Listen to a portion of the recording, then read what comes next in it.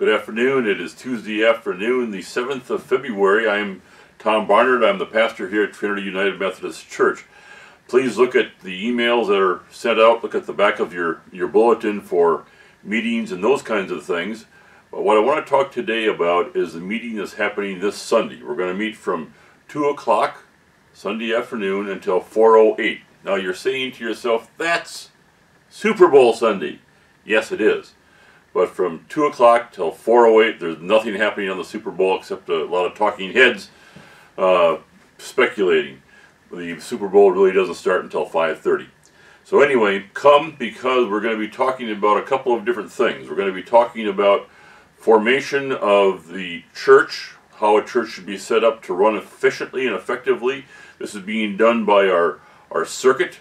The circuit is made up of 32 churches, of which uh, I am the leader, and, and Dennis Epley out of, of Waverly is the lay leader for that group. And we are putting this on. Reverend Dr. Jay Johnson is coming from, uh, from the uh, conference office to talk about the one board system, which is most of the churches within our circuit uh, should probably be set up on the one board system. If you have 50 or less in worship on Sunday, you should probably be in that system.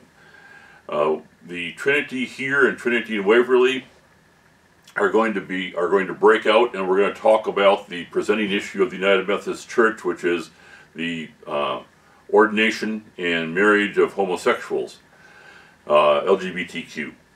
And we'll so we'll be doing a lot of uh, discussion on that. I'll have a panel of people, of which I'll be one, that will be discussing those issues. So come, it should be a good afternoon of information. Of course, the church is is dividing over that issue that we'll be talking about on, on Sunday.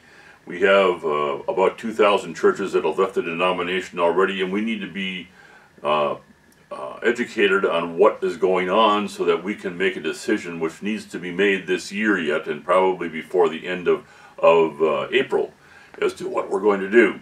So come, uh, be part of what we're doing, and uh, go away with some food for thought and, and things for prayer.